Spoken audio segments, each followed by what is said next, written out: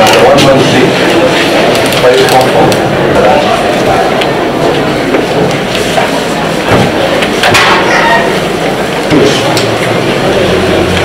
When I'm investigating a case of cheating, contrary to section 315 of the contrary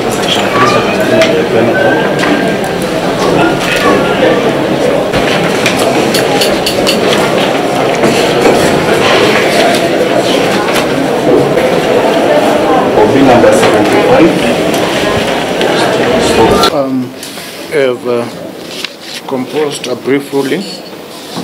The ruling is as follows. I have had the investigation officer on oath and considered the application.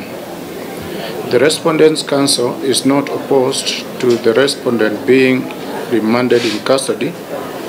They only ask for 21 days instead of 30 days. The application speaks of fraudulently obtaining colossal sums of money from various people at different locations.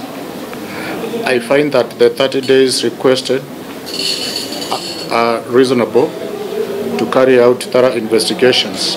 I therefore order that the respondent be remanded in custody of Kasarani Police Station for 30 days to enable the police to complete their investigations. The case shall be mentioned on 17th of October 2024 for a progress report. Right of appeal, 14 days.